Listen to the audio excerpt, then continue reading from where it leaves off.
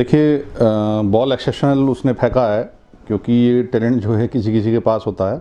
लेकिन विषय ये है कि बॉल लीगल है या नहीं, ये अभी इस पे, इसके ऊपर जो है, अभी शायद आगे डिबेट होगी। और मेरे ख्याल से ये जिस तरह से बैट्समैन स्विच करता है, और मेरे बॉलिंग में ऐसा स्विच तो इसने नहीं किया या सिर्फ़ खाली बैट्समैन को डिस्ट्रैक्ट करने के लिए ये किया है तो बॉलर को भी थोड़ा छूट होना चाहिए जब बैट्समैन को इतनी छूट है सारी क्रिकेट में। तो थोड़ा बॉलर का भी पॉजिटिव थोड़ा सा होना चाहिए। अच्छा।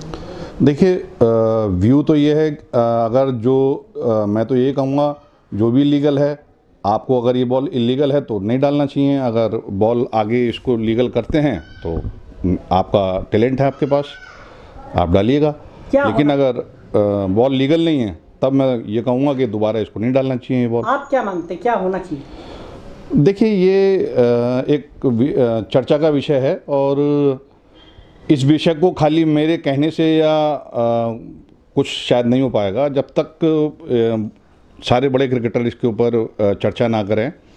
तब इसके ऊपर सॉल्यूशन निकल के आएगा और मेरे ख्याल से थोड़ा सा हमें वेट करना चाहिए इसके लिए। चैपल साहब? जी चैपल साहब का पहले उससे पहले इंसिडेंट चैपल साहब का था जिन्होंने अंडर आर्म बॉल डाला था।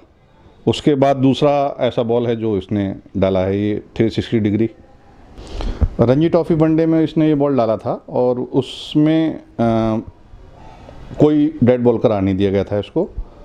तो उसके हिसाब से तो ये बॉल लीगल है। कौन?